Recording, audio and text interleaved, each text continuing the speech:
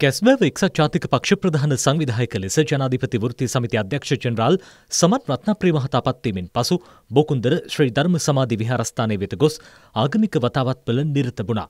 විහාරාධිපති කොරතොට ධම්මසිද්ධි ස්වාමින් වහන්සේ ඇතුළු මහා සංඝරත්නය නව සංවිධායකවරයාට ආශිර්වාද පළ කළා. මේ පළවෙනිදා ඒ වැඩ කරන ජනතාවගේ දිනය සංවිධානය කරන එක පක්ෂය විදිහට. ඒ වගේම ඉදිරි මේ වර්ෂයේ මැතිවරණ වර්ෂයක් ජනාධිපතිවරණය ඔක්තෝබර් මාසයේ පවත්වන්නට නියමිතයි. ඒ ජනාධිපතිවරණය ජයග්‍රහණය කරන්න රට වෙනුවෙන් අපිට විශාල වගකීමක් පැවරෙනවා. ඒ කාරණේදී රට විදියටත් කොළඹ දිස්ත්‍රික්කයේ විදියටත් ඒ වගේම කැස්බෑ වාසනයේ විදියටත් විශාල වැඩ කොටසක් අපට පැවරෙනවා. ඒ වගේම මිෂ්ට කරන්න තමයි අද ආවේ.